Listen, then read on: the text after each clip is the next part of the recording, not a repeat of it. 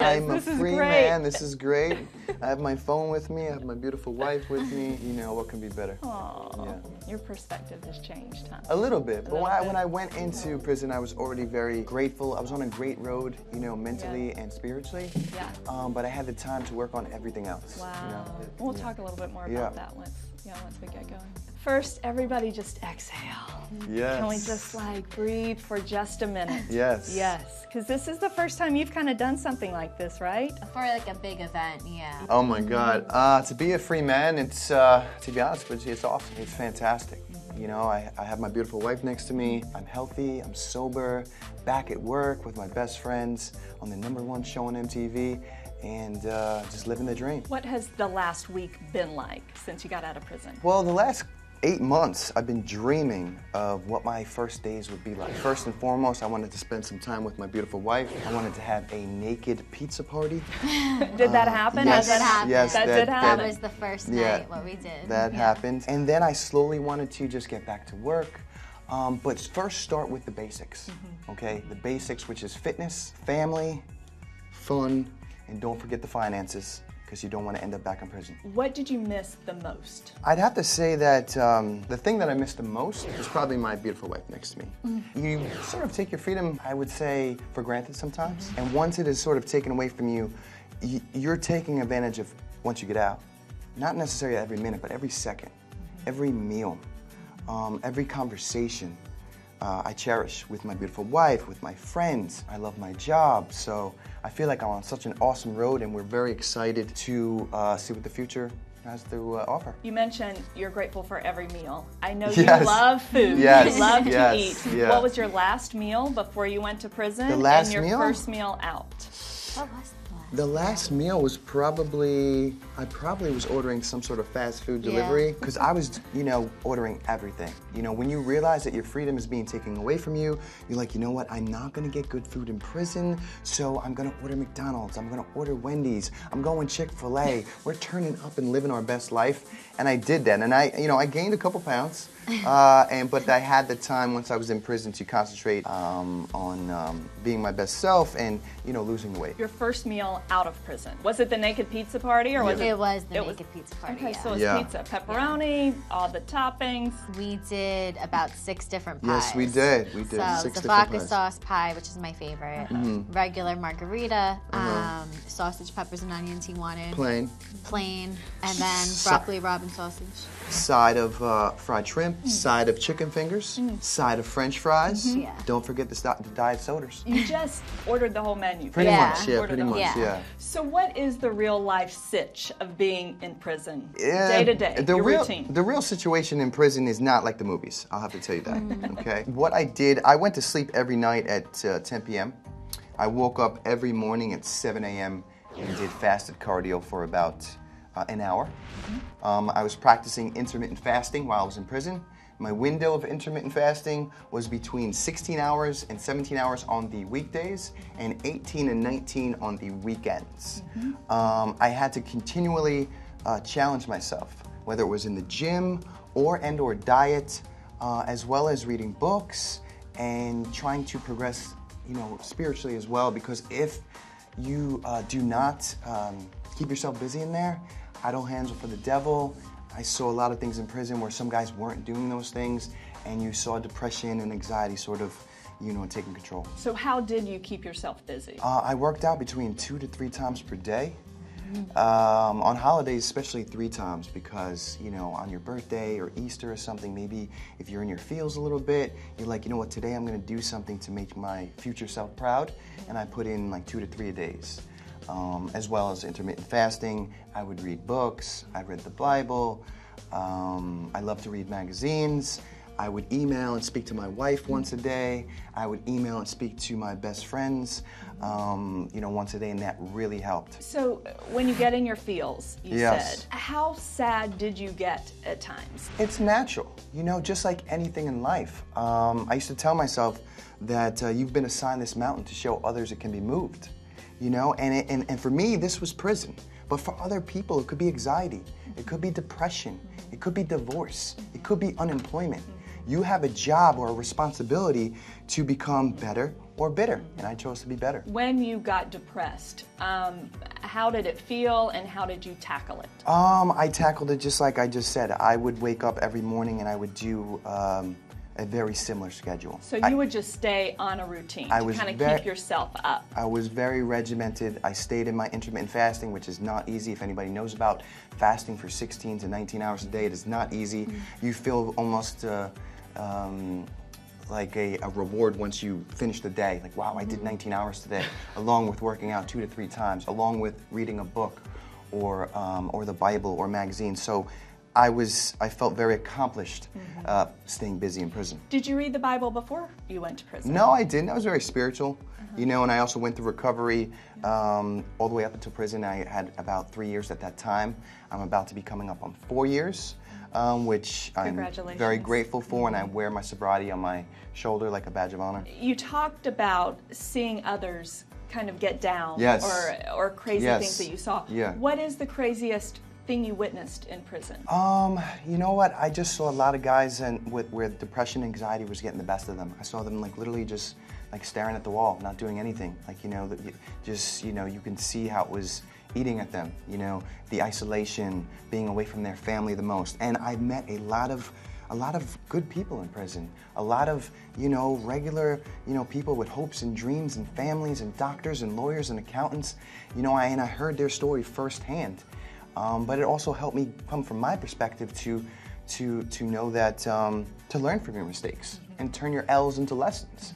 And I had a very positive outlook from day one to the end of, of my eight months. Did you make good friends in prison? People that you will keep in touch with? I don't know about keep in touch with. I did make good friends in there. It's not uh, it's not your job when you go to prison to make friends. It really isn't. It's your job to survive, you know, and get out. You seem so upbeat about it. I'm I am. picturing, uh, Lauren, I'm kind of picturing him in there helping those who did get depressed. Yes. He was. Yeah. That's exactly what he was doing. I had some people that were in there reach out to me when they got out and said, um, you know, I just want to thank you for being such a big part of his life, and he made my time go by faster there, and he made me Yeah. learn and challenge and grow myself to become better while in there, and he made.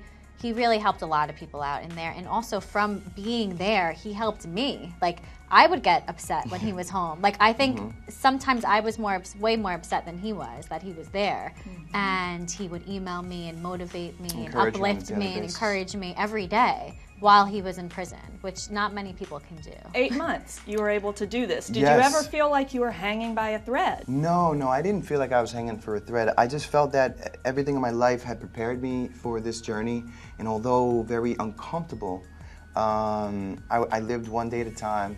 Every single day, I, you know, tried to be my best self or better than the day before, and, and, and then move forward, and that was it. And I'll be honest with you, I was very successful. I had lost, you know, over 35 pounds in there. So the food was not great then. No, no, the food was not good, but uh, the guys in there liked me. You know, if I needed extra salad or extra vegetables, those were some of the the ingredients in there that were so prized. Fresh, you know, salad or fresh vegetables, and I needed that on a daily basis to be on a diet and get the old situation back.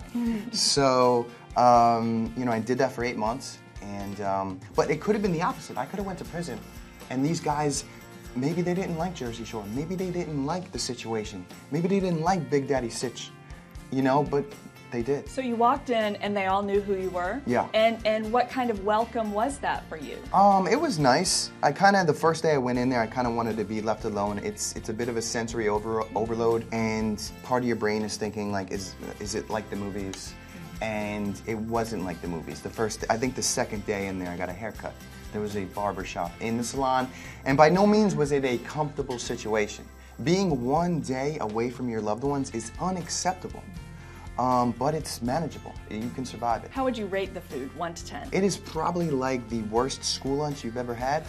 Um, and if you're trying to lose weight and get healthy, it could be almost impossible, you know? And you talk about it not being a comfortable situation. It wasn't. I have been in prison for eight months, and you are not sleeping in a comfortable bed. I mean, it's not even a mattress, it's like a pad um, for eight months. You're not eating good food for eight months. You're away from your loved ones for eight months. So you're sh- sharing a bathroom with over 100 savages for eight months.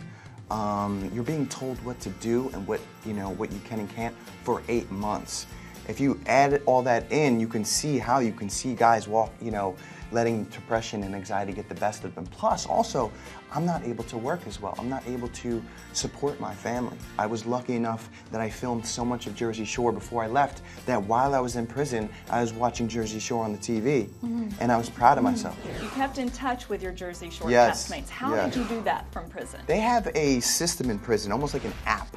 Uh, it's called TRULINCS, and uh, my friends and my wife and my mother and uh, family were able to email me on a daily basis.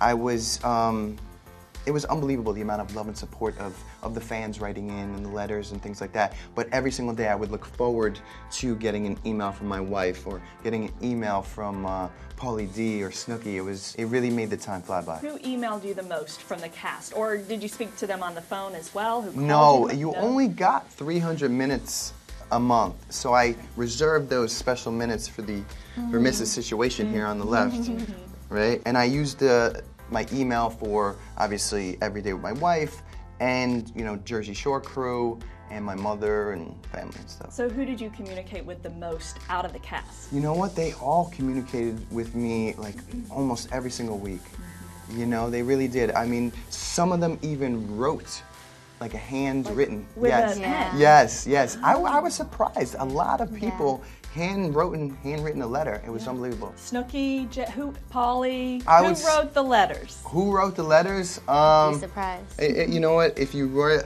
am I allowed to say who wrote the letters? Yeah. Ronnie wrote the letter, and I and Ronnie wrote the letter, and uh, and Snooki and um, Pauly and JWoww had emailed me the most. So Ronnie's handwritten letter. Yeah, I was, Was it- very surprised when I got it. Was it emotional? What can you share about that letter? Um, it was just like my friends, all of them. They said pretty much the same thing that they, they couldn't believe the strength that me and my wife had, and that you were able to go through this process with such um, grace and class. And they were so proud of me, and they can't wait to, you know, see me get home and uh, you know get back to work and and film on Jersey Shore. Who came to visit? All of them.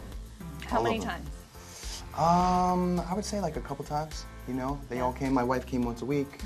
Um, the Jersey Shore crew came. You know, every two months they would come. Let's talk about your marriage and, and Yes. Uh-huh. dealing with this. You got married last November? Yes. And then two months later, yeah. Yes. he's in the slammer. Yes. How did that make you feel? It was a unique situation It sure for was, sure. sure was. But if anybody knows our backstory, it's kind of um, something that we were able to just take on, and I wasn't really scared at in the beginning. So we met 15 years ago. We dated for like three to four years in college. College sweethearts. Yeah, took a huge break when Jersey Shore happened. Mm-hmm. I was working, you know, in the city and in my career, and he was doing his career on TV. Mm-hmm. TV show ended. I moved back home from New York to New Jersey, and we just bumped into each other, and we were immediately back together again. Mm-hmm. That was six years ago. So that was 2013. Mm-hmm. So we're best friends. You know, we've experienced everything together from good, bad, and different. And the most challenging thing we went through together was his recovery. And we went through that a few times. And um, last year, when he got sentenced in October, he had already been almost three years clean and sober. So once we had put some significant time in with his recovery, we just became like a solid foundation where nothing was really scary to me. We were able to survive it and like thrive through it. I mean, it was hard. It was not easy at all. I don't know how people do it longer for years. Um, but it definitely made us stronger for sure. This did not shake you after dealing with addiction mm. A hundred and percent. recovery. Yeah. 100%. Recovery was way harder. Way harder than Way prison. harder. Yeah, I would choose prison over recovery. Talk to me about how it was harder for you. Recovery was way harder than prison. And I believe that my recovery over the past couple years had prepared me mm-hmm. for this journey to go through, you know, prison. I mean, we didn't think that I was going to get jail time. Mm-hmm. You know, we thought we were going to get probation, but the judge had every, every right to, to give me the eight months, and we accepted that. And we owned up to our mistakes, and we were accountable. And um, our main goal throughout the whole process was to handle it with grace and class, just not only for ourselves, but to show the young generation out there how to to handle adversity, you know, and move forward and continue to be your best, even if you make mistakes. How did you maintain your marriage during this eight month prison sentence? I would go visit him every week. Once a week. So I figured out. conjugal visits? no. I wish. No. No, No. there were none there. Yeah, None. that Um, would have been great, but no. Not allowed. No. No. In the beginning, I went more than once a week. Um, Mm-hmm. I went like twice a week. But then I had to figure out what was working for me. Yeah, I didn't want her to drive three hours you know, far. there and three hours back. I, I, I just was nervous. I didn't want her to get into a car accident or anything like that. I just so then it turned out to be once a week. Yeah, once a week visits in person, and then daily phone calls. Um, You know, we'd have. And a daily- specific time. Daily emails. We both would know each other's schedule every day with the email and working out a lot and just doing things to keep my body productive and you know being positive and healthy. Mm-hmm. What kind of transition has it been since he's been home with you? Because you got used to being on your own. Yes, Yeah. very true.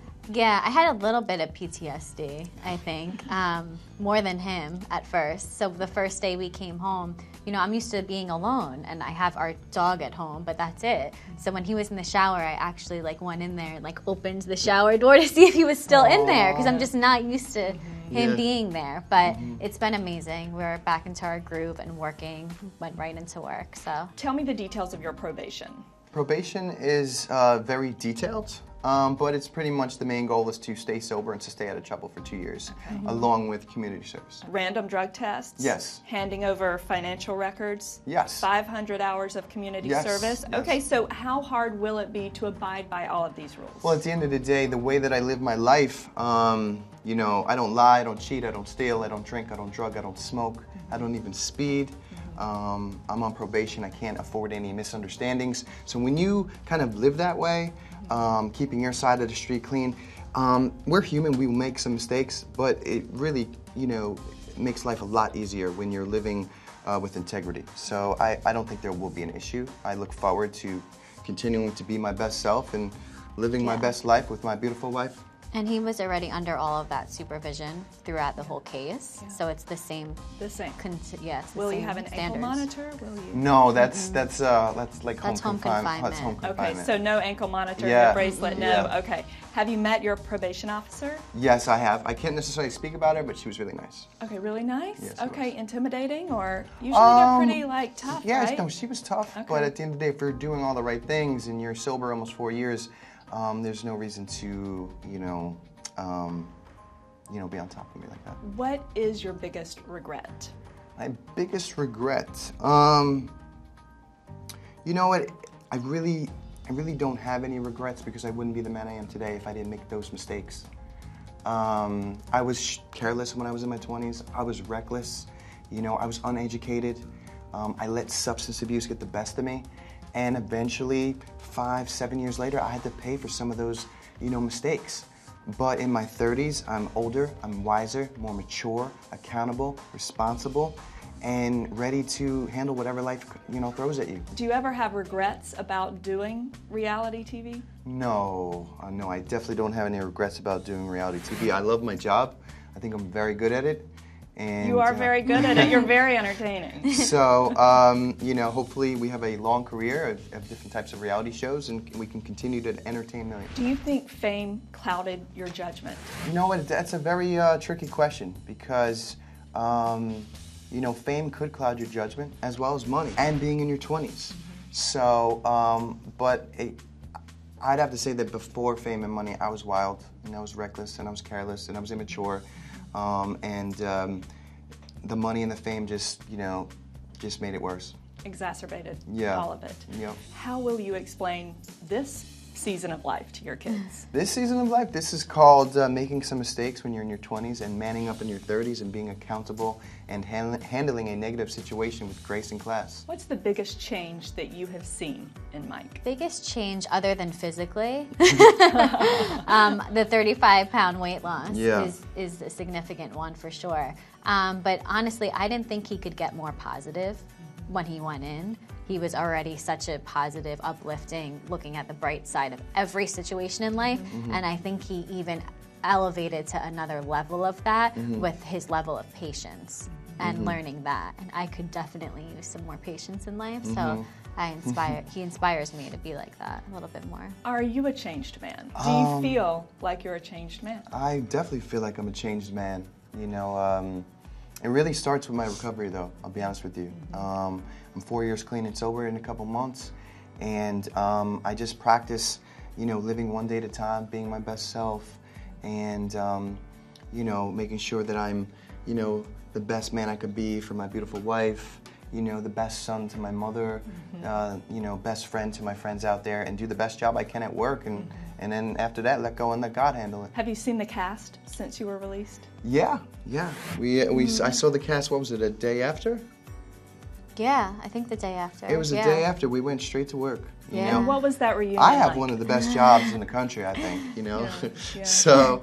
Just um, being yourself. Yeah, you know, just being myself and and being authentic and being able to uh, articulate my emotions in front of the camera so the viewer can relate. What was that reunion like with your friends? Oh, it was unbelievable. It was uh, it was just a lot of emotions all at once, and um, you know I'm just very grateful to have such close relationships with friends that uh, I call family today. What would your message be to your fans who have stood beside you through this journey? Um, I would have to tell them that uh, the comeback is truly greater than the setback. Let's talk about your brother. Yes. He's still incarcerated. Yes. Do you speak to him? Have you visited him? Well, I had to just ask probation for permission to visit him, and that was like the other day. So, other than that, that's where we stand right now. Because you need to ask permission to to go to a prison. How's he doing? He's doing good. Okay. Yeah. And remind me, you know, years ago, um, he was your manager. Yes.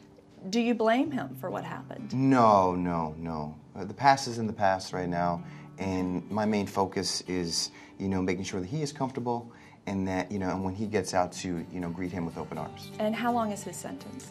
Two years, Okay, and he has served how much? eight months. Eight months. So he's got almost a year and a half, not yeah, quite a year and a half. yeah. He might have a year and a half, but once you do more than a year and a day, you're entitled to credit. Okay. Um, whether it's halfway house or home confinement, a lot of people don't understand the whole process. Mm-hmm. Um, but since he's been sentenced to two years, he's you know entitled to um, certain uh, credits. How difficult has it been for your family to have two Yes. sons, two Yeah. family members Yeah. in prison? I mean, listen, it's a difficult situation, but at the end of the day, um, you have to rise to the occasion and continue to move forward. What will the celebration look like when he too is released from prison? Uh, we'll definitely have an awesome Sunday dinner ready for it when my brother gets home. You know, I'm sure my mom will make the meatballs and the sauce, and you know, and uh, you know, she'll probably make some dessert. Actually, my mom this Sunday is making a whole spread for me because I haven't gone over yet. We're gonna have chicken cutlets, fettuccine with peas and ham, baked clams, chicken cutlets, salad, bread, and antipasto. what was it like when you saw your family for the first time? Um, I took my mother and sister out, and my brother, my other brother, um, to a sushi dinner. Um, I wanted some fresh food, so I, I, I took them out for dinner. And then this week we're having a Sunday Sunday dinner. So, the new the new Mike. Yes. 30, 30, how many pounds lighter? Oh, I lost 36 pounds in prison. 36, pounds. Yeah. Okay, you are so much thinner than the last Yes. time I saw you. Yes. So what is your regimen going forward? Are you going to stay Yes. like this? Are you going to try to lose more weight? Are you going to put more weight on? Um, no, no. I'm looking to probably stay the weight I am right now. Um, I'm about 185. That's the weight that I weighed in college. So that's like, you know, your fighting weight right there. I'm very proud that I was even able to get to that. Um, going forward right now, I'm going to continue to intermittent fast. If I can work out at least once a day, maybe even twice, I will. And I'm looking to unveil the situation very shortly um, and break the internet. And break the internet. and so you, the G and the GTL, you kept up with that. Yes. Now you're back. How are you going to do? Are, how happy are you to embrace the whole GTL once again? Um, listen, I'm so grateful just to be able to be with my wife, but at the same time have the freedom to do what I want. You know, I can go to the gym, I can go get a spray tan, I can get a manicure, a pedicure, a facial. You know, without someone. T- Self-care. Yes, I'm big with that. I'm so big with that. Have you gotten a tan since you've gotten out? No, no, I have not gotten a tan, but I'm willing to get a spray tan if you want to recommend me someone. It lo- he looks good though. This Yeah. um, fair complexion. What are you thinking, Lauren? No, I like it. I think he Yeah. looks great. You haven't wasted any time. No, No. no, no, no. I went straight back to work. I hit the ground running. Um, we had that naked pizza party my first day out. We had some unbelievable sex, like Yeah, that was about the only downtime, and then right to work. straight to work. Yeah, Every day. straight to work. Okay. I am happy for you that you are in such a good place Thank in your you. life and you have overcome both of you and you seem like such a powerful influence Thank you. on him. She is. She's my strength. This is situation right here is uh, is is my strength. Last question. You talked about reading the Bible regularly for the first time when you were in prison. Are you still doing that? Do you plan to make that a part of your routine? Yeah, you know what? I'm very spiritual, um, and I continue to, you know, you know, try to practice that and read the Bible. But um, I've been home for about four seconds, so uh, I guess only time will tell.